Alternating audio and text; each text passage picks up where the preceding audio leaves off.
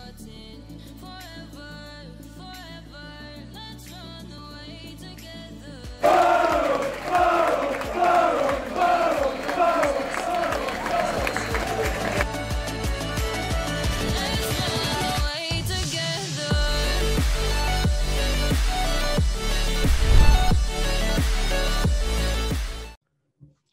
So it is game day then in the Sky Bet League 2. Another fixture for the Bluebirds is Barrow taking on Exeter City match preview. So what's up guys and welcome back to another video on the channel by me, Barrow on Tour. Yes, I'm back with another video on the channel. And today's video then is a match preview for Barrow's next fixture at Holker Street taking on Exeter City.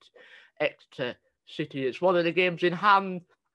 So we do need to pick up some points in this game. We got this is one of the games in hand. We got another game in hand against Forest Green Rovers this month. So if we can pick up two, well, six points out of our two games in hand, that'd be massively. That'd be massive for us. But yeah, in this match preview, then we'll be going through my predicted lineup, my score prediction, form three beside, and an update on the Sky Bet League 2 table. But before we do get any further into this video, you know what to do. Smash like on the video and subscribe to the channel. Be massively appreciated because let's try and aim for 10 likes on this video. So the first category then that we are going to be talking about in this match preview is form for either side coming into this tie. So yeah, Barrow's form coming into this game. We'll go from the second of April. They got a two-one win against uh, Newport County, a one-one draw on uh, Monday against uh, Colchester, and a two-two draw on Saturday. Upcoming fixtures then we've got Exeter City, Leyton Orient, which is an early kick-off because of the funeral of uh, Prince Philip. Then we've got Port Vale at home, Tranmere away, Forest Green away, Southend, Exeter. So a lot, there's only about one, two, three, four, five, six, seven games left for the season to be played. Two, we've got well, one of them, well, two of them are two games in hand. So that is our form. We got uh, winning two draws in the last three. So now we'll go over to the visitors' side in Exeter City's form coming into this tie. So then Exeter City's form coming into this coming into this tie. Then on the second of April they got a one 0 loss against Port Vale. The fifth of April nil nil draw against Mansfield Town, and then on Saturday they got a four one win against Cambridge United. Their upcoming fixtures then they've got eh, Barrow tomorrow uh, at seven o'clock. Uh, Exeter, uh, Southend, Forest Green, Newport, Exeter, uh, Grimsby, Bolton, and then Barrow at home for the last game of the season. So yeah, the next category then. So they've got a, a loss, a draw, and a win. So a bit of mixed form for either side. So you never know what could happen in this game. It's going to be a very, very entertaining game to watch. Exeter City fans like, uh, yeah, we're going to beat Barrow, we're going to beat Barrow and stuff like that. So you never know if they think they're going to beat us. They're going to be they they can be like that. They can be cocky and confident. But I, I'm going to be like that. I think we can go and beat Exeter. But the next category then that I am going to be talking about in this match preview is my predicted lineup.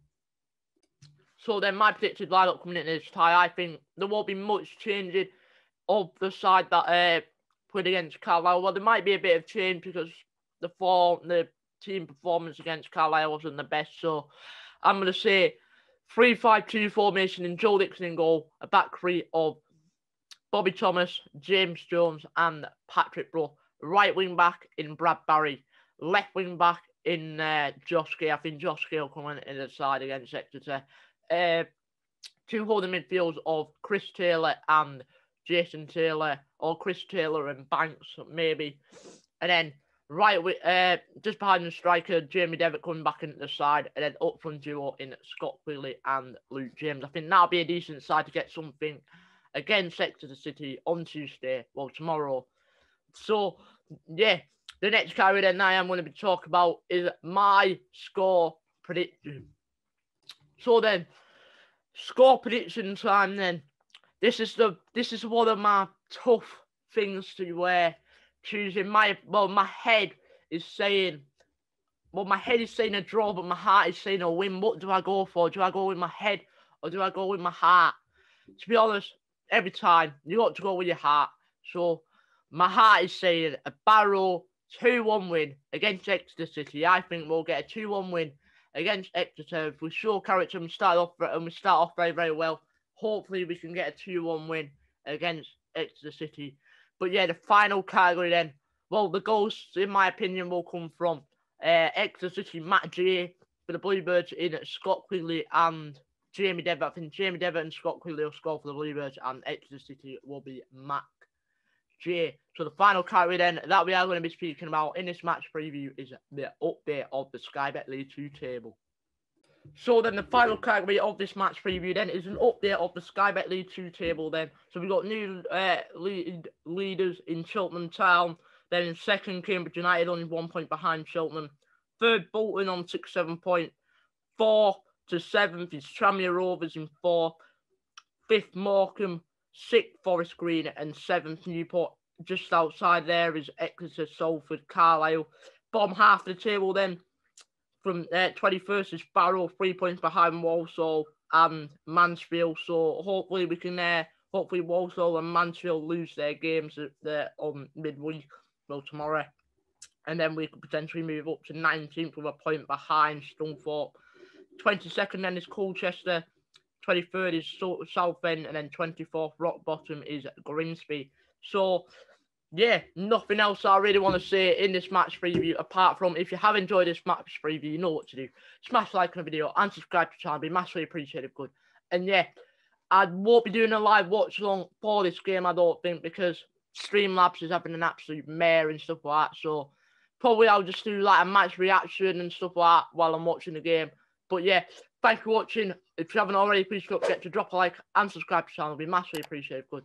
And yeah, I'll see you for another video very, very soon. Peace.